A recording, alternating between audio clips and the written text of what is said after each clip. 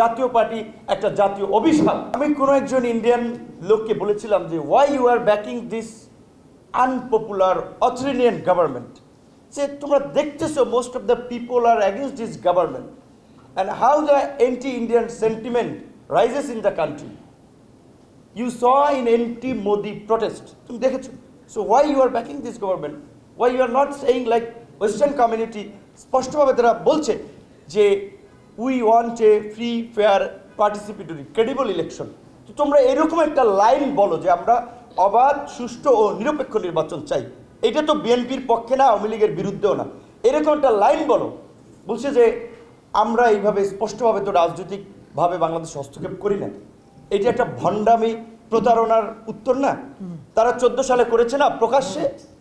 G M কাদের সাহেব, আপনার কিছু আগে ইন্ডিয়া গিয়ে কি বলেছে? মুখে তালা মেরেছিল যে আমার ইন্ডিয়ান দাদা বাবুরা বলেছে, আমি বলতে পারব না সো আমি আর বলতে পারব না। তো এই জাতীয় party sorry to say aggressive হচ্ছে তো ল্যাঙ্গুয়েজটা বাট জাতীয় পার্টি একটা জাতীয় অভিশাপ। আজকে এই ভাগ বাটোয়ারার ভাগ বাটোয়ারার নির্বাচনে জাতীয় পার্টির মতো যারা গিয়েছে উচ্ছিষ্টভোগী দালালরা, সামাজিকভাবে বর্জন করে পরবর্তীতে যেন কেউ ন্যাশনাল স্বার্থে যেন বিচ্ছে না করতে পারে, আমাদের এদেরকে সামাজিকভাবেও বর্জন করা উচিত। জাতীয় পার্টি অ্যান্ড আদার্স যারা বিট্রেয়ার ছিল। দ্বিতীয়ত এটা এক ভাই বলেছিলেন লালা ভাই বলেছিলেন দ্যাট ওয়াজ দ্য রিয়েলিটি যে অনস আপন এ টাইম লাইক যদি আমরা ধরি ওবামা প্রশাসন কিংবা তার আগে, ইউরোপ, আমেরিকা, ভারতকে বাংলাদেশের ঠিকাদারি দিয়েছিল যে তারা এটা ম্যানেজমেন্ট করবে। এখন ভারতের ভূমিকাটা স্পষ্টত একটা দখলদার রাষ্ট্রে তারা বাংলাদেশে যে আধিপত্যবাদ বলেন, সম্প্রসারণবাদ যেটা করতেছে, এটা স্পষ্টতই বাংলাদেশের স্বাধীনতা সার্বভৌমত্বকে বিপন্ন করা এবং সেটা শেখ হাসিনার সরকারকে ব্যবহার করে করছে। কাজেই শেখ হাসিনার এই প্রাচীবাদের বিরুদ্ধে লড়াইয়ের পাশাপাশি আমাদেরকে মনে রাখতে হচ্ছে যে আমাদের একটা giant neighbour they are not favour to us তারা আমাদের পক্ষে না। সো সেই ক্ষেত্রে হ্যাঁ যাদের ইন্ডিয়ান ফ্রেন্ডস আছে কানেকশন আছে, আমরা একমত, আমরা এত বড় একটা প্রতিবেশীর সাথে বৈপরীত্য সম্পর্ক রেখে, বিরূপ সম্পর্ক আমরা রাখতে চাই না। আমরা একটা ফ্রেন্ডশিপ চাই, সেটা হতে হবে দুদেশের জনগণের ন্যায্যতা দুদেশের জনগণের চাওয়া পাওয়া এবং মর্যাদার ভিত্তিতে। এই মেসেজটা আপনারা দেন। না হলে মালদ্বীপের মতো আমাদের এখানে পরিষ্কারভাবে আগামীর আন্দোলনের স্লোগানে ভারতীয় আধিপত্যবাদ হটাও স্লোগান তুলে জনগণকে ঐক্যবদ্ধ করতে হবে ন্যাশনাল ইন্টারেস্টের জায়গা থেকে, স্বাধীনতা সার্বভৌমত্ব রক্ষার জায়গা থেকে। সর্বশেষ যেই কথাটি আমি বলে শেষ করব।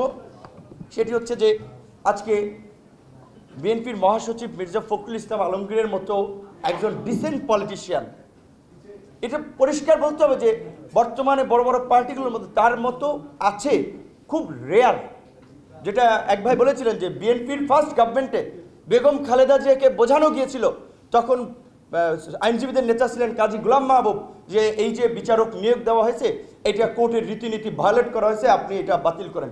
আইনজীবীদের কথা খালেদা জিয়া শুনেছিল।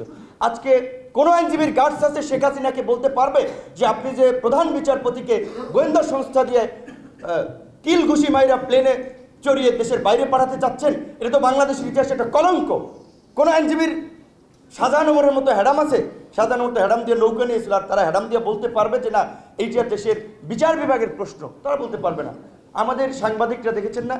সাগর রুনি হত্যা নিয়ে প্রতিবাদ করেছিল, অনেকে প্লট পেয়েছে, সুবিধা পেয়েছে, চুপ করে গিয়েছে। বিএনপির সমাবেশে নাকি সাংবাদিকরা লাঞ্ছিত হয়েছে, তার জন্য দেখলাম বেশ কিছু তথাকথিত সাংবাদিক নেতারা মানে সাংবাদিক কমিউনিটি কীভাবে আন্দোলনের বিরুদ্ধে লেলিয়ে দেওয়া যায় সেজন্য প্রেস ক্লাবের সামনে কথা বলেছে। অথচ এই পনেরো বছরে, এই প্রায় এই দেড় দশকে অন্তত পক্ষে শতাধিক সাংবাদিক হত্যাকাণ্ডের শিকার হয়েছে। একটা ঘটনারও চাঞ্চল্যকর ঘটনাগুলো বিচার হয়নি। So, সাংবাদিক বলেন আইনজীবী বলেন কোনো কমিউনিটি এখন নিরাপদ নয়। আজকে মির্জা ফখরুল ইসলাম আলমগীর যে পত্রিকা পড়লাম তার পাঁচ কেজি না ছয় কেজি ওজন কমেছে।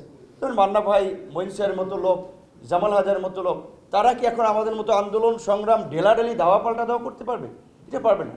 তারা আমাদেরকে একটা পরামর্শ দিতে পারবে গাইড দিতে পারবে। কিন্তু আমাদের মাথা থেকে যদি এই পরামর্শের এই সাথীটা যদি সরিয়ে ফেলে, যেটা মির্জা ফখরুল ইসলাম আলমগীর, আমির খসরু মাহমুদ সাহেব তারা আন্দোলনে সক্রিয় ভূমিকা নিয়েছিলেন, বিধায় তাদেরকে জেলে নিয়েছে।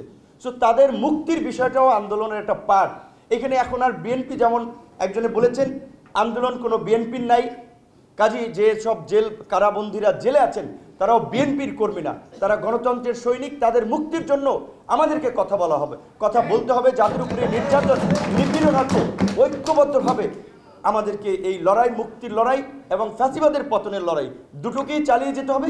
তবে অবশ্যই সঠিক কর্মকৌশল, দূরদর্শী সিদ্ধান্ত আমাদের থাকতে হবে। আমি যেটা মনে করি, আমরা, এটা ওপেন কথা, আমরা বিএনপিকেও ফর্মালি জানিয়েছি যে আন্দোলনের ল্যাক অফ স্ট্র্যাটেজি ছিল কমিউনিকেশন গ্যাপ ছিল, যে কারণে যে মাত্রা আমরা প্রত্যাশা করেছিলাম বা যে ধরনের অ্যাকশন নেওয়া উচিত ছিল জনগণের দিক থেকে, সেটা হয়নি।